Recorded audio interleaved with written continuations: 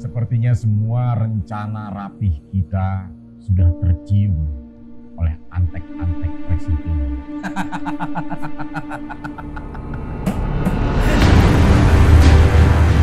Mereka lah yang harus berhati-hati dengan kita. Jack! Untuk percaya pada suatu hal, namun tidak menghidupi hal tersebut, maka itu sama saja ketidakjujuran. Kalian melakukan kesalahan yang besar. Kalian akan dihukum atas semua ini. Kecerobohan tidak bisa ditoleransi. Kita berada di jalur untuk sama-sama mengubah negeri ini. Oleh karena itu, Pecahkan kepala mereka.